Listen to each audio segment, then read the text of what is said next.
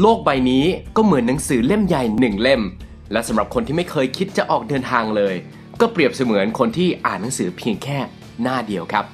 วันนี้เรายังอยู่กันที่เวียดนามนะครับ อีกหนึ่งประเทศที่ได้รับความนิยมจากนักท่องเที่ยวมาอย่างต่อเนื่องครับ กับความสวยงามทางธรรมชาติ และสถานที่ที่มีเรื่องราวทางประวัติศาสตร์ที่มีอยู่มากมายครับ ย่อมมีอะไรที่ดึงดูดนักท่องเที่ยวให้มาค้นหาอยู่เสมอครับ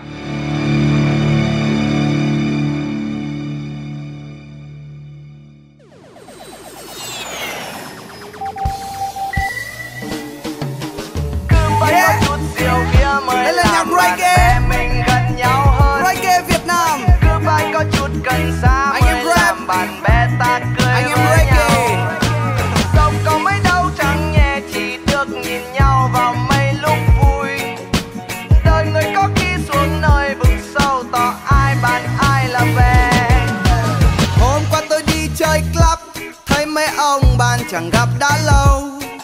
Ngày xưa anh em thân nhau lắm Cớ sao giờ gặp chỉ còn chào xã giao โอ้โหเนี่ยแหละครับเหตุผลที่รีบเดินเข้ามานะครับเพื่อเข้ามาที่ Bangkok Airways lounge นะฮะชิลมาก ๆ ที่นี่เขาครบครันครับ มีขนมมีอินเทอร์เน็ต มี Wi-Fi นะฮะแล้วก็มีที่นั่งดีๆ วิวเก๋ๆนะครับให้สามารถผ่อนคลายก่อนขึ้นเครื่องได้ ดีมาก ๆ นี่แหละเหตุผลที่รีบเข้ามา คือขนมเขาอร่อย Cứ phải có chút cần xa mới làm bạn bè ta cười với nhau Sống có mấy đâu chẳng nhẹ chỉ ผมเองก็เพิ่งรู้นะครับเนี่ย เก๋มาก ตรงนี้มีสปา มีเก้าอี้นวดด้วย แล้วก็ชาวเวอร์รูม อาบน้ำได้ด้วยเอ็กซ์คลูซีฟมากเลยนะฮะ Đời ta đôi khi như đi hát Phải lúc nào cũng được trơn tru Đôi khi ta quên lời Đôi โอ้โห รู้สึกเกรงแล้วก็พริมไปในตัวนะฮะ ตอนนี้ผมอยู่ที่ Blue Ribbon Class Lounge คือมีร้านส่วนตัว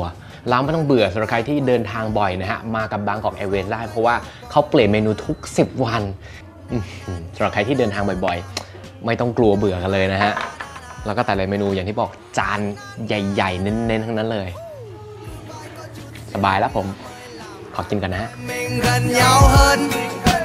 cứ phải có chút cần xa mới làm bạn bè ta cười với nhau sống có mấy đâu chẳng nhẹ chỉ được nhìn nhau vào mấy lúc vui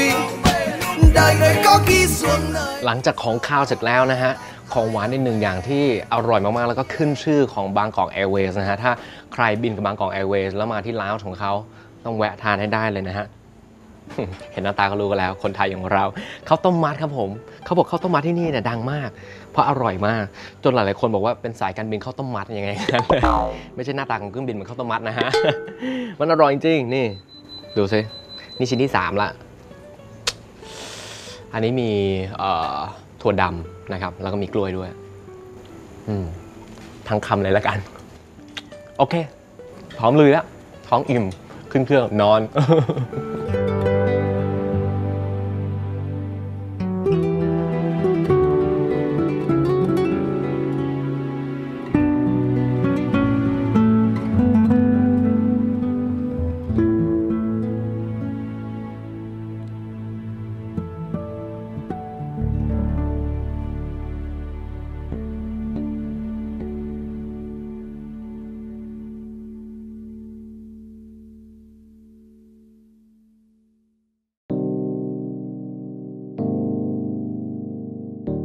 เวียดนามถือเป็นประเทศที่มีประวัติศาสตร์ของการต่อสู้อันยาวนานครับ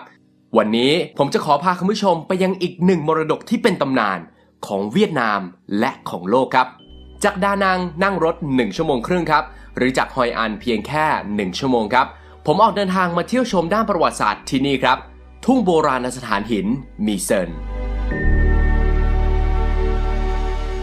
ตอนนี้ครับผมพาคุณผู้ชมมาเที่ยวอีกหนึ่งสถานที่ท่องเที่ยวสำคัญมาก ๆ ซึ่งตั้งแต่ในปี 1999 นะครับได้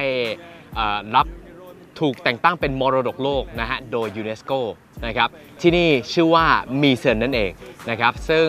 ถ้าเดินทางออกมาจากทั้งดานังหรือว่าฮอยอันนะครับประมาณสัก 50 กิโลบวกลบนะฮะใช้เวลาประมาณชั่วโมงนิด ๆก็จะมาถึงเรียบร้อยแล้วนะครับ มีค่าเข้าครับเล็กน้อยอยู่ที่ 1 5 0 0 0 0 ดองนะครับ ที่นี่นะครับเป็นทุ่งโบราณสถานหิน แดดร้อนมากๆนะครับอย่าลืมซันบล็อก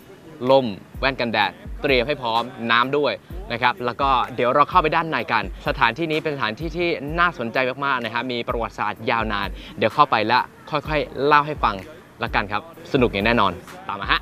Em ơi đi trốn với anh Mình đi đến nơi có biển bạc núi xanh Trời con sẽ ăn พูดถึงชื่อก่อนเลยดีกว่านะฮะ ชื่ออ่านเป็นภาษาอังกฤษเหมือน My Sun นะฮะแต่จริงๆแล้วชื่อมีเซินแต่ถ้า accent ชาวเวียดนามก็ไม่รู้ว่ามี